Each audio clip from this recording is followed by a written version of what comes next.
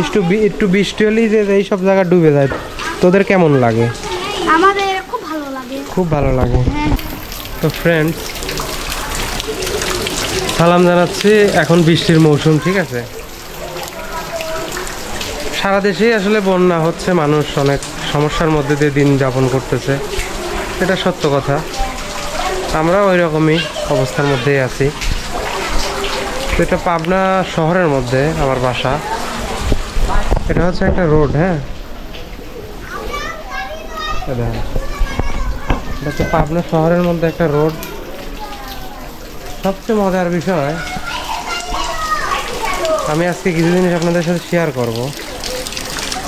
এই রোডের এই সাইড আবার ড্রেন আছে কিন্তু, এখান থেকে কিন্তু ড্রেন আপনি ভাববেন হয়তো পুরোটা রোড, কিন্তু হাঁটতে লাগবেন, পরে দেখবেন যে আপনি এর, এখানে মোটামুটি গলা পর্যন্ত গর্ত কিন্তু।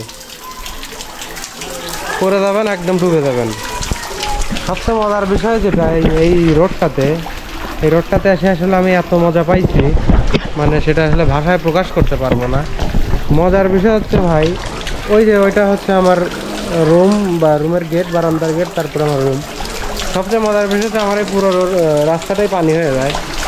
আরও মজার বিষয় হচ্ছে, গত বছর ঘুমায় রয়েছি সকালবেলা ঘুম থেকে উঠেছি, বুঝলেন? সকালবেলা ঘুম থেকে উঠেছি, উঠার পরে দেখি যে ভাই আমার রুমের মধ্যে পানি। মানে আমার বেড যেখানে ওইখানে শুকনা। আর আমার বেড থেকে চার হাত ফাঁকেই হচ্ছে পানি যায় রয়েছে আমার রুমের মধ্যে।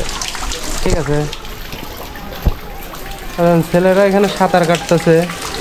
আরও একটা মজার বিষয় আছে, সেটা হচ্ছে এখানে যখন বৃষ্টি হয় আর এরকম পানি হয়, তখন এখানে মাছ ধরার খুব একটা মজা লেগে যায়।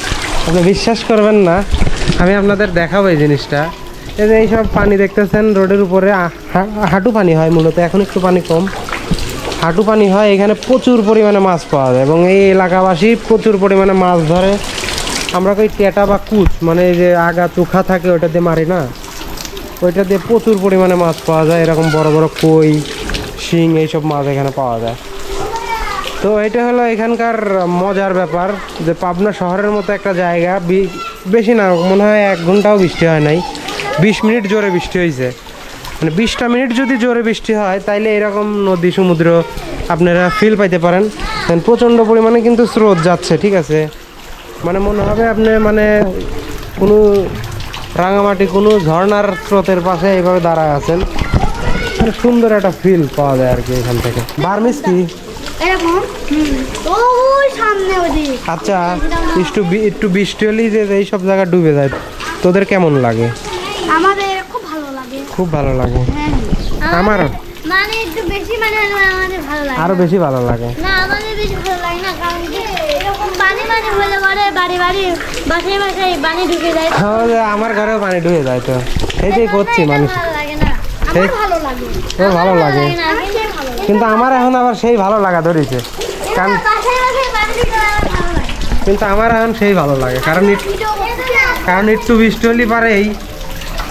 একজনের সেই ভালো লাগে একজনের বাসায় পানি ঢুকলে ভালো লাগে না। এই আমার এই রাস্তা পানি হয়ে গেছে ফুল। ঠিক আছে। ফুল পানি হয়ে গেছে। এইখানেও মোটামুটি হা- গিরা পানি হয়ে যায়।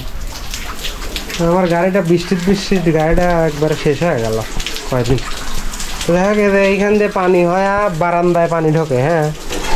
বারান্দায় পানি ঢোকে, বারান্দা থেকে ওই দরজা ভেদ করে রুমে পানি চলে যায় এইখানে বৃষ্টি হলে হলো একটা অবস্থা এলো পাবনা শহরের অবস্থা।